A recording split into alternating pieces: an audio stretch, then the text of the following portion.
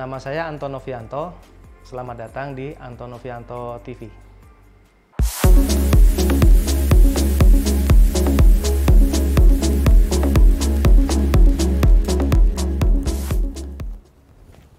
Assalamualaikum warahmatullahi wabarakatuh. Halo, eh, nama gua Hadi Taruna, orang biasa panggil gua Hatar. Jadi gua ini eh, salah satu penggemar Peisho dan juga kebetulan punya workshop Peisho di daerah Bintaro kayak gitu kan. Nah, kali ini mungkin gua akan eh, cerita sedikit ya mengenai Peisho eh, tahun 2002 warna kuning yang sudah kita modifikasi.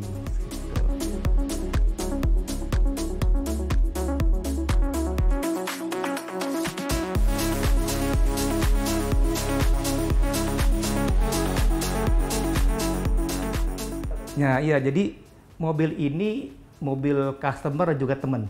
Basicnya 306 PS3 atau dibilangnya di Indonesia Mei 2000 karena keluarnya tuh dari tahun 2001 milenium ya sampai 2003. Jadi mobil ini kita beli itu dalam kondisi mobil emang sudah lama terdiam, bukan mobil aktif jalan gitu kayak gitu. Jadi itu mobil jogrok lah gitu kan. Kita ambil, kita beli karena bahannya masih bagus. Ya kan? Nah, untuk eksteriornya sih sebetulnya eksteriornya secara body masih standar, cuman hanya warnanya. Warnanya itu kita rubah ke kuning dan kuningnya inilah kuning salah satu warnanya 36 GT. Ya kan kita cari warna itu kita rubah jadi 36 GT. Ini jadi ini warnanya kuningnya 36 GT. GTI kan kayak gitu. Tapi uh, untuk untuk yang lainnya seperti yang lainnya standar kecuali pelek. Peleknya itu kita ini sekarang pakai BBS LM 198 ring 17 lebar 7,5. Nah ini pelek lumayan rare nih karena PCD-nya 4 kali 100. Suspensi kita menggunakan Koni adjustable. Pernya kita pakai Vogue Jerman. Jadi lowering yang turunnya 50 mm. Untuk rem depannya kita custom karena di turbo custom. Kita menggunakan kalipernya dari Passion 406 kalipernya kita sorry uh, disc brake-nya kita pakai masih pakai diameter 274 mm tapi brake pad-nya kita pakai endless. Nah yang belakang itu karena kan basicnya 36 itu belakang tromol drum bukan uh, disc brake. Nah kebetulan kita dapat itu satu gelondong tuh kan belakang kalau 36 itu torsion bar. Ya kan belum pakai per pakai torsion bar. Kita dapat tuh copotan dari luar tuh yang punya 36 GT jadi uh, torsion bar plus disc brake-nya. Kita pasang plug gitu kan. Ada plusnya. Kenapa plusnya? Karena plusnya karena kalau torsion barnya 36 tuh batang basang torsion itu diameter lebih lebih lebih besar. Karena untuk mobilnya lebih sport kan, horsepower lebih tinggi jadi diameter torsionnya itu batang torsionnya itu 21,5 mm. Sedangkan yang Indonesia yang mobil 4 pintu tuh hanya 19,5 mm. Jadi lebih besar ya makanya alhamdulillah kita dapat sama itunya sama apa sama torsion barnya sama disc kita dapat seperti itu. Jadi untuk sisi belakangnya juga udah lumayan torsion bar plus tetap belakangnya pakai suspensi Yukoni adjustable. Jadi kita bisa set dari soft sampai hard kan kayak gitu. Nah, itu suspensi.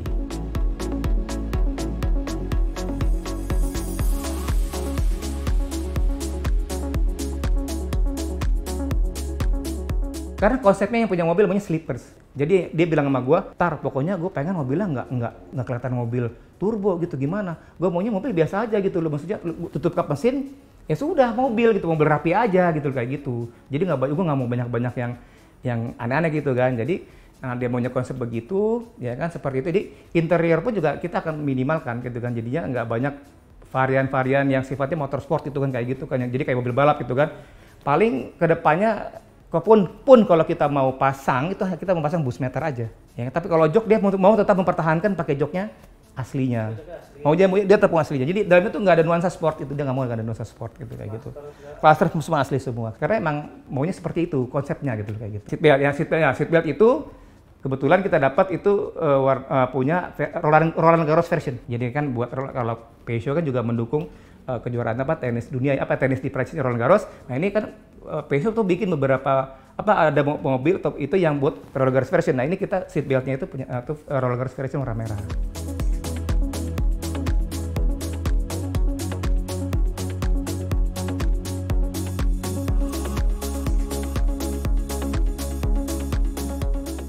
Jadi lucu nih engine nih. Engine-nya itu sebetulnya kita udah dua kali udah dua kali kita modifikasi sebetulnya. Ya kan yang pertama sebelum turbo itu dari mesin aslinya 1800 cc SWC, ya kan? Kita sweat ke 2000 cc DWC. NA, NA. Jadi kita mau NA dulu dia maunya apa NA. Ya udah kita naikin NA gitu kan. Kita naikin NA gitu kan. Uh, pakai 2000 cc DO, terus headnya standar ya, headnya standar. Cuman headnya itu kita saya custom itu menjadi headnya 36 GT. Jadi dari sisi valve, spring gitu kan, apa namanya air sama valve-nya itu kita samakan untuk menjadi 36 GT gitu kan. Bawahnya tetap punyanya uh, mesinnya kan ini mesin kita ambil dari 406 ya. 2000 DO di Indonesia tuh punya 406 ya kan. Punya sama 406 kayak gitu. Kita naikin itu ya kan udah kita dyno pasang pigi itu dapat sekitar 178 horsepower. Ya kan dengan torsi 215 atau 18 saya lupa pada saat itu gitu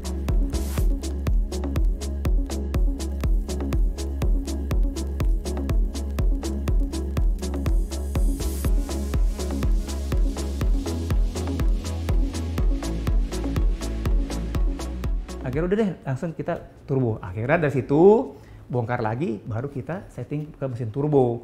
Ya kan? Konsepnya ada dia bilang bisa nggak kalau mesin 2000 dewasa itu 300 HP bisa nggak? Gitu kan. Uh, ya coba kita coba saya bilang kayak gitu. Kita coba tapi teori sih bisa gitu kan. Bisa karena uh, mesin ini bisa sanggup ke uh, angka HP tersebut gitu kan. Kondisi standar. Udah akhirnya kita kita lakukan proyek saya lakukan proyek kita ganti lagi mesinnya pakai mesin 406 yang tipenya D8 Indonesia. Beda. Yang kalau yang pertama pakai yang D9 mestinya kan sekarang kita pakai yang karena buat turbo karena D8 itu kan kompresnya awal basicnya kompresor lebih rendah daripada D9 mesinnya kan kayak gitu. Kita beli lagi mesin yang 408 D8 gitu kan. Dari situ kita customize mesinnya, kompresi kita sesuaikan, tapi tetap kita menggunakan piston standar gitu kan. Kita custom aja gitu kan. Terus headnya juga sama, tetap saya menghitung headnya itu untuk durasinya cam sama itunya saya ngikutin yang mesin GT. GT sampai ya kan mesin GT seperti itu. Udah uh, standar jadi terus intake karena konsepnya itu tadi karena konsepnya adalah konsep sleepers mobil kalau tutup kap mesin nggak kata mobil turbo banyak yang dirubah. Gitu. Apa? Yang dirubah satu kipas. Kipasnya Peugeot itu kan tadi di depan di belakang bumper. Dia di depan kan. Akhirnya karena depan itu untuk naruh apa uh, intercooler sama oil cooler akhirnya dipindah ke belakang. Nah, dipindah ke belakang jadi masalah. Karena apa? Karena mentok ke intake, ya kan? Intake-nya nggak dapet nih, gitu loh. Kalau kipas terus ini, akhirnya intake-nya kita buat. Jadi kita intake custom. Intake kita custom, udah dapat fittingnya, intake dapat, fitting dapat, selesai, kayak begitu kan?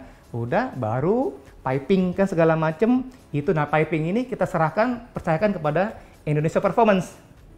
Om Weda, ya kan Om Weda Indonesia Performance. Kita tolong Om tolong ya pokoknya nih mobil udah gue bikin mesin intake-nya segala macam nih di depan. Ini tolong ini turbo. Coba saya coba coba ngasih dia turbo ini turbo gitu kan. Ini turbo gue pokoknya lo bikin piping fitting ini mobil proper bagus gitu kan. Dan slippers maksudnya tutup kap mesin semuanya nggak kelihatan. Nah alhamdulillah sama Om Beda dibikinnya akhirnya bener bagus gitu lagi. Jadi mobil rapi aki dipindah ke belakang gitu kan. Karena buat turbo kan buat ke belakang terus ECU jadi pindah ke depan gitu kan. Head tank segala macam. Terus sampai uh, apa namanya piping segala macamnya itu tutup tutup kap mesin sudah nggak ada yang kelihatan. Nah kalau kita lihat tutup kap mesin even sampai selang intercooler pun yang di bawah tuh kan nggak kelihatan juga. Sampai intercoolernya yang di belakang grill bumper juga nggak terlalu kelihatan kalau kita nggak benar-benar longok gitu kayak gitu ya jadinya. Jadi konsepnya dapet gitu loh mobil slippers gitu kan yang kalau tutup kap mesin udah nggak kelihatan mobil turbo kayak gitu jadinya.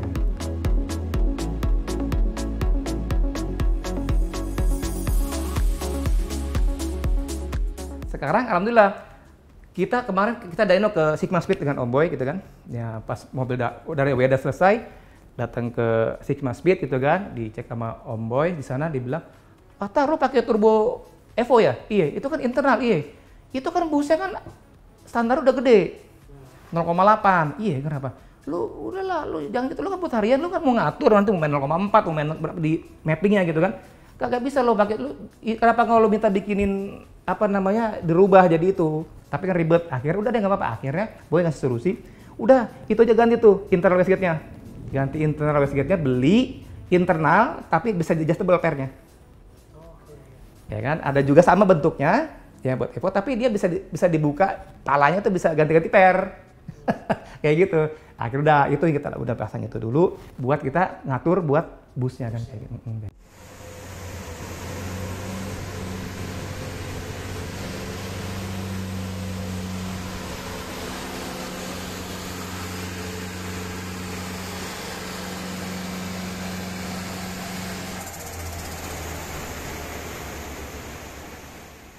Gitu. Udah di dyno sama Om Boy itu kan bahan bakarnya pertama turbo itu 0, pas 0, karena bilang owner 300 HP pas 0,9 tuh udah 100 300 HP bus 0,9 powernya 300 HP torsinya 313 ya kan?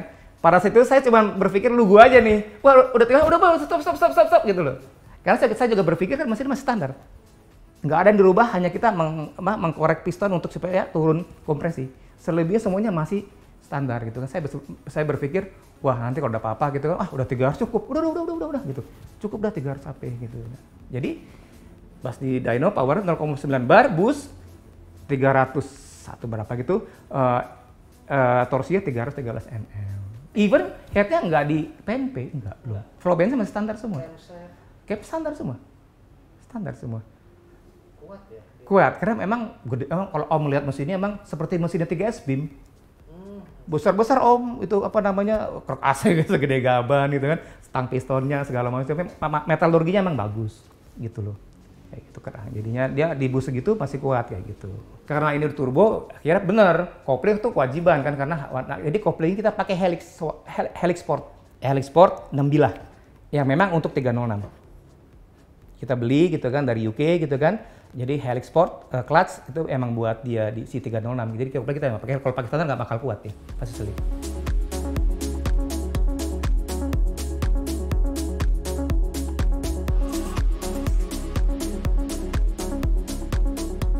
Kaki depan dia armnya bus bus armnya kita pakai power flag. Semua pakai power flag gitu kan.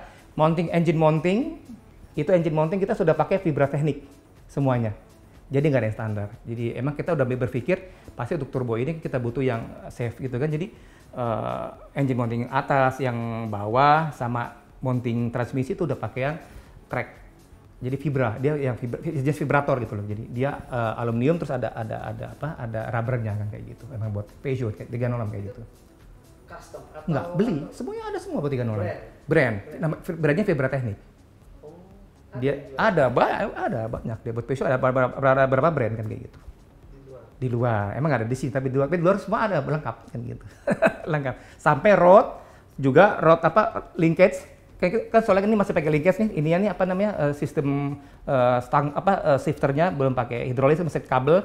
Linkage rodnya itu kita pakai yang sistem ball joint kalau yang asli kan pakai karet itu kan juga akan jebol kita pakai sistem ball joint jadi itu akan for good dia akan kuat kan kayak gitu. Jadi semua komponen-komponen yang sifatnya itu yang sudah kita ganti. Makanya tampang luarnya aja yang tampang luarnya aja yang yang kalem, yang slippers gitu kan. Tapi inside-nya sebetulnya secara yang basicnya udah semua kita beresin kayak gitu.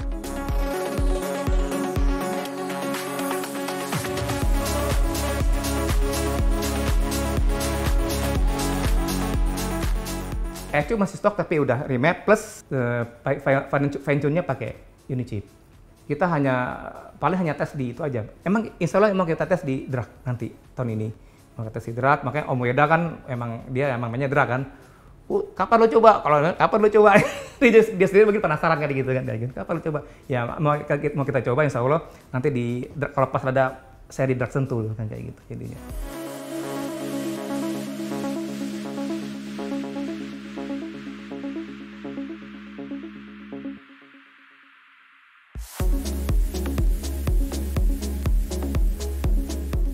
Jadi buat seharian uh, kalau kita uh, driving ya nggak nggak serasa mobil kenceng, biasa aja. Sampai pemiliknya kan teman saya si Om Solas ini ownernya kaget. Dia berpikir dia punya Evo kan kayak gitu kan. Wah, kan udah gitu wung, gitu kan dia. Gimana udah terasa mobil kenceng gitu kan. Pas dia selesai saya udah datang sini kita coba yuk. Jadi kita coba, iya coba. Lah, ini mobil gua eh, gua pikir gua udah nyamain gini udah gimana gitu. Standar aja biasa pakai AC standar aja. Jadi ya nah, tapi ada satu yang gak enaknya karena tadi karena tadi kan semua udah rigid nih om. Dari mulai busing sampai ke mounting mount, engine mounting udah busing ya gak enaknya itu aja agak vibratan jadinya kan. Tapi selebihnya biasa bawa mobil biasa aja kan. Orang kalau nggak tahu itu mobil turbo ya biasa aja gitu bawa mobil gitu. Loh nggak ada yang aneh. Nggak.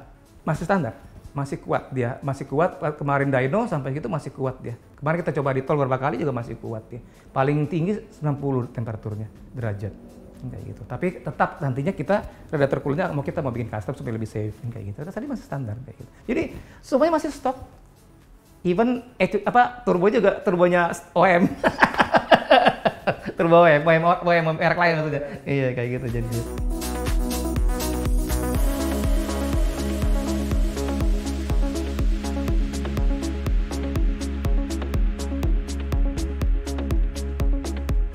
Jadi ya belum kita belum bermain belum menyentuh bicara uh, racing part di di engine belum. Hanya bagian kaki-kaki sama itu ya yang kita sudah bermain ya karena kan buat safety. Itunya kalau kita naik ke standalone gitu kan. Nah, kalau standalone kita jarang pakai Haltech Motek. Kita uh, kita punya ecu kita biasa pakai Emerald. Emerald itu mungkin kalau pendengar dulu Emerald, Emerald, Emerald Ecu gitu kan. Nah, karena kenapa? Karena ecu tersebut populer di UK karena UK kiblat kita buat uh, buat modifikasi Peugeot gitu kan? Iya jadi enaknya gini enak emerald enak emerald seperti Haltech punya untuk Evo. Dia istilahnya kalau pakai uh, Haltech di Evo kan bisa pakai harness standarnya pakai loom adapter. Iya kan, seperti itu kan. Sama, Emerald juga buat Peugeot, dia pakai standarnya Peugeot, pakai loom adapter jadi rapi. Jadi kita nggak bikin-bikin loom sendiri kan kayak gitu kan, seperti itu jadinya. Jadi dan emerald emang udah terbukti dipakai di sana gitu. Mungkin kalau kita senlo, kita naikin ke senlo ya bisa bisa seperti itu.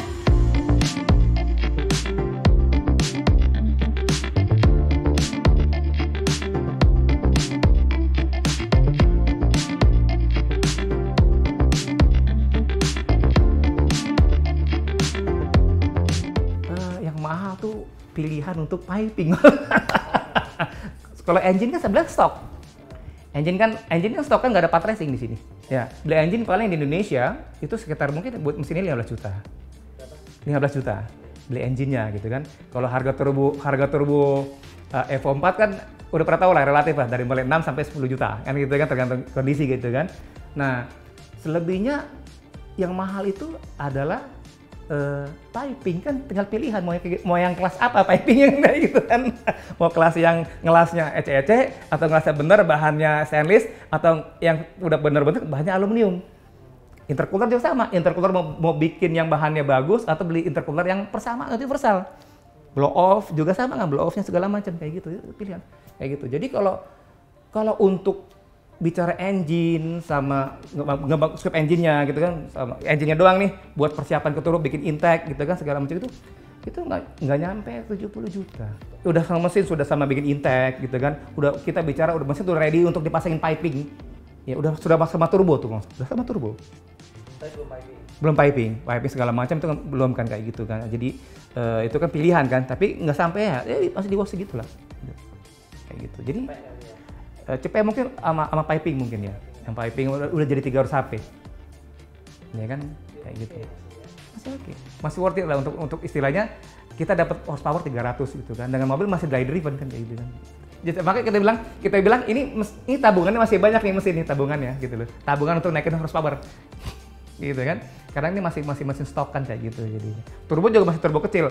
Kalau kita sudah bicara bermain dengan racing part di engine kan turbo kita bisa naikin kan kapasitas turbonya kan yang apa namanya kelasnya kan nggak kelas standar kita bisa beli turbo yang kompetisi kan kayak gitu kalau kita mau bener-bener mau gedein horsepower gitu kan kayak gitu.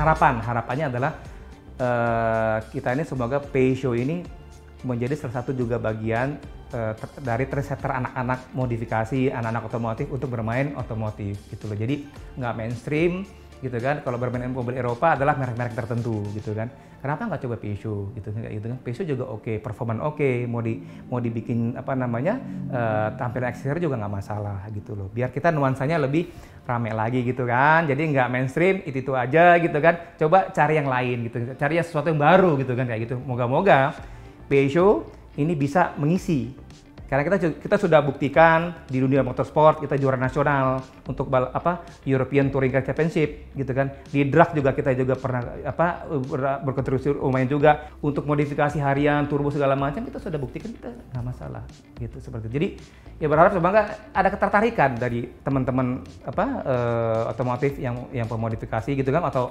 mau modifikasi untuk mencoba Peugeot itu aja sih mas.